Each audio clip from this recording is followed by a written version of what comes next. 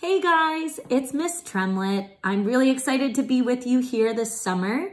I am going to explain to you an activity that we are going to do for reading this summer. So we've been reading The Giving Tree by Shel Silverstein, and our job for activity today is to draw a picture of your favorite character from the story and write three words that describe that character.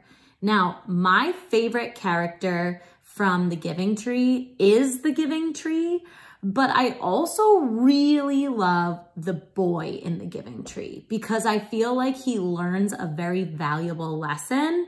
So because I love both characters so much, I decided to draw a picture of the boy. This is what my finished project looks like.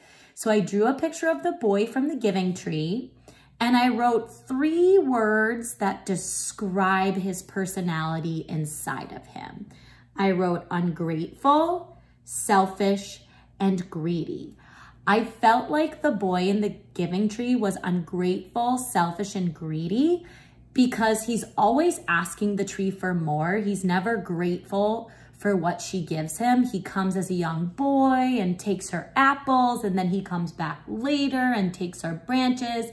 And he just takes and takes and takes until there's literally nothing left of the tree except for her stump. It's also a great example of how he's selfish and greedy, right? He keeps taking and taking from her and never stops. So that's why I chose those three words to put inside of him. What you're going to do is you're going to draw a picture of your favorite character from the giving tree and then write three words one, two, three, inside of the character or outside if you would like, that describe that character. Again, I chose ungrateful, selfish, and greedy. Please choose your own words to describe your favorite character from this story.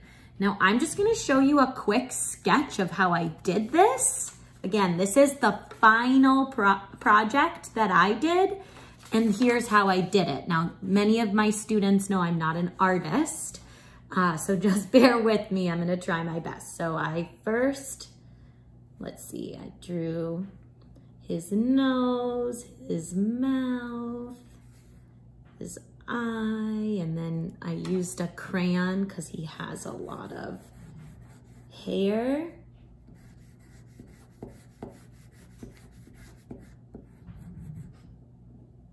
And then let's see, he's got his arm coming out here.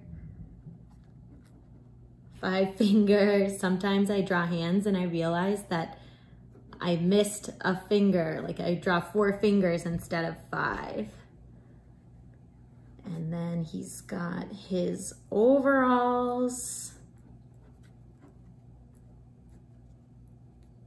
And one of his legs. I don't, I don't think I'm gonna have enough space to draw his foot, so it'll be going off the page. And then another one of his legs. There we go. All right, so I've drawn the character of the boy. I went a little too big, so it went on the page there.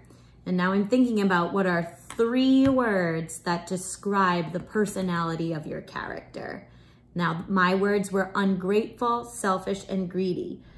I wrote ungrateful on his chin, selfish on his overalls, and then greedy on his leg. Maybe you might even want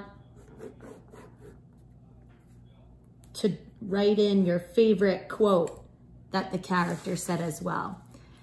So this is how I did my sketch. Again, my final product looked like this. This is the one I did before I started filming the video.